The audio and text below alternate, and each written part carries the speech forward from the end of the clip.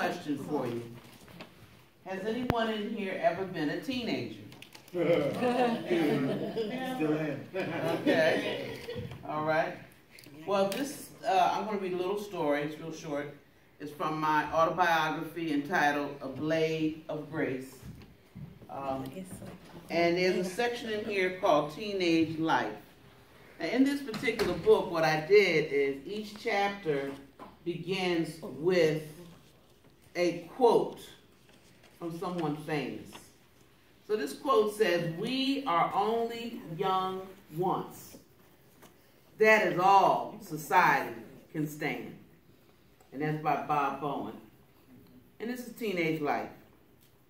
At 13, I thought I had arrived until Grandma Luella set me straight.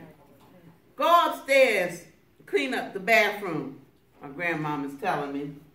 My response was dangerous. I walked up the first three steps in my grand in my mother's home.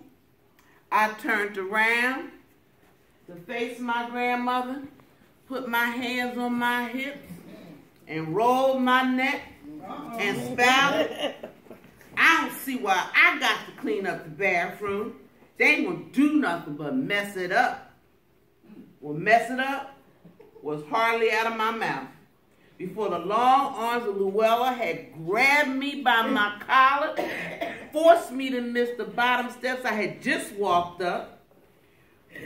Um, lost uh, walk, uh, forced me to miss the step at the bottom that just walked up, threw me in a chair, and commenced to give me a piece of her mind with the assistance of a broomstick.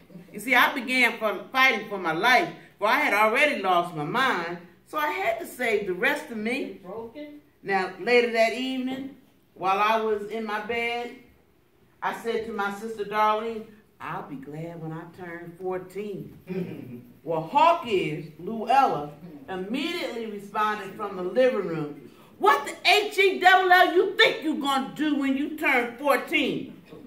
I put my head under the pillow.